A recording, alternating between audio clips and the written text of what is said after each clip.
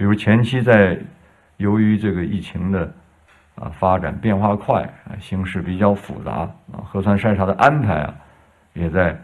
这个经过一些流程啊，在调整啊，这些调整的过程当中，也给大家啊，特别是我们的一些啊基层的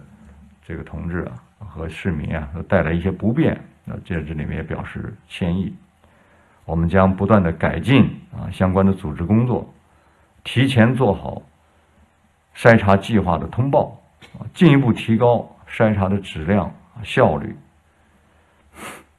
另一方面呢，为了制定下一轮的疫情防控策略，这个每轮筛查的结果也将啊提供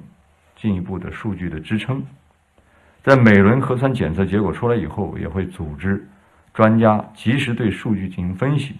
科学划定区域核酸检测的范围。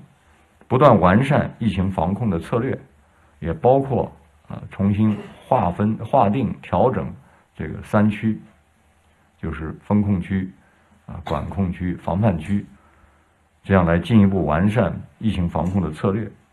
在这里也真诚的希望广大的市民能够继续啊理解、支持、配合下一步的核酸筛查工作，为尽快实现社会面的动态清零。